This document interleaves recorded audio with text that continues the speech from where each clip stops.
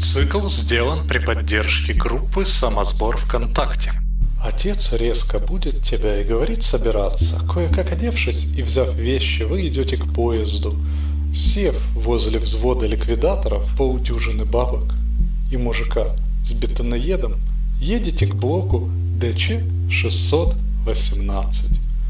Четыре часа нахождения в стальном гробу, словно кусочки мяса бетоноеда в банке тушенки.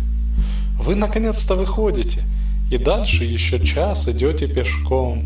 Наконец-то доходите, как обычно, берешь лом, начинаешь делать углубление в бетоне, затем батя кидает туда немного слизи, семена борщевика и снова засыпает бетоном.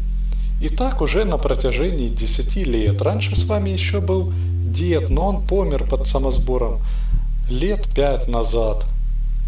Потом вы из борщевика делаете салаты, варенье и так далее. Второй дед пытался даже борщ сварить, но тоже помер. Спустя три часа работы ты присел отдохнуть. Отец все еще возится на грядках. Никогда ты не понимал значения этого слова. Вдруг ты услышал звук сирены, а после уловил тот самый запах сырого мяса. Отец слишком увлекся выращиванием борщевика и не слышит ничего, а ты слишком устал от блока ДЧ-618. Да и прятаться тут негде, все гермодвери украли еще до твоего рождения. Поэтому просто сидишь, пока твое тело стекает на бетон.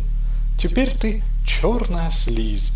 Существуешь без бед и забот возле лестничного проема.